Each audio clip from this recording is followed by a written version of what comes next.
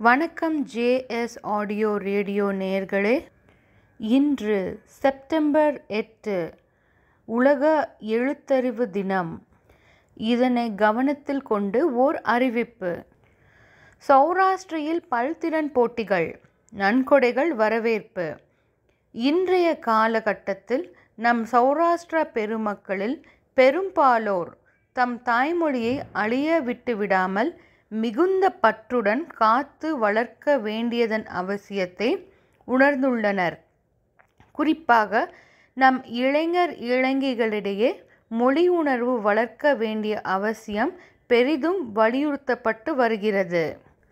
இதை ஆழமாக உணர்ந்துள்ள ஜேஎஸ்இ சேனல் நம் இளைய தலைமுறையினருக்கு பல்வேறு தாய்மொழி திறன் போட்டிகளை நடத்துவதன் மூலம் அவர்களது மொழி உணர்வை கூர்மையாக்கும் சிறந்த பணியில் அடியெடுத்து வைக்கிறது. முன்னெப்போதும் நடந்திராத வகையில் சமூக இளைஞர்களுக்கு நம் தாய்மொழி சௌராஷ்டிரியில் கூர்ந்து கேட்டல் வாசித்தல் எழுதுதல் பேசுதல் என பல்திறன்களை வெளிப்படுத்தும் போட்டிகள் விரைவில் ஜேஎஸ்இ சேனல் மூலம் நடத்த உள்ளன. பங்கேற்பவர்களுக்கு ஊக்கமும் உற்சாகமும் கூட்டும் வகையில் ரொக்க பரிசுகளை வெற்றி பரிசுகளாக அறிவிக்க தாய்மொழி பற்றுள்ள பரந்த மனம் கொண்ட நன்கொடையாளர்களை வரவேற்கிறோம்.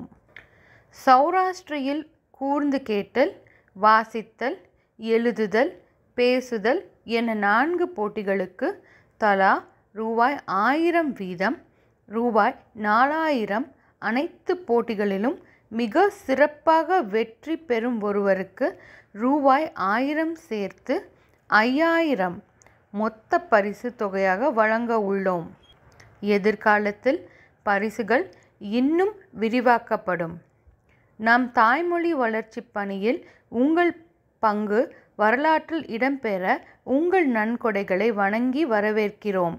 வாழ்க சௌராஷ்டிரிய சௌராஷ்டிரி வணக்கம். நன்றி. இப்படிக்கு திரு ராம ஈஸ்வரலால் அவர்கள் குரல் கொடுப்பவர் ராஷ்மி.